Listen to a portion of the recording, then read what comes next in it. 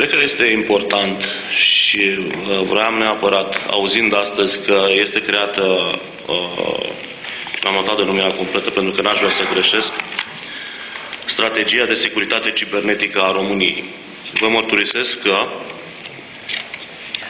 nu știu justificat sau nu, eu nu am auzit până astăzi de această strategie și personal nu o consider completă până când la elaborarea acestor strategii nu vor participa și cei care se ocupă de combaterea infracționalității de acest gen.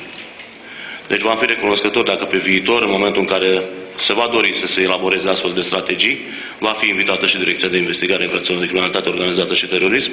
Vă asigur că avem specialiști în domeniu suficient de pregătiți pentru a participa la astfel de strategii. Vă mulțumesc.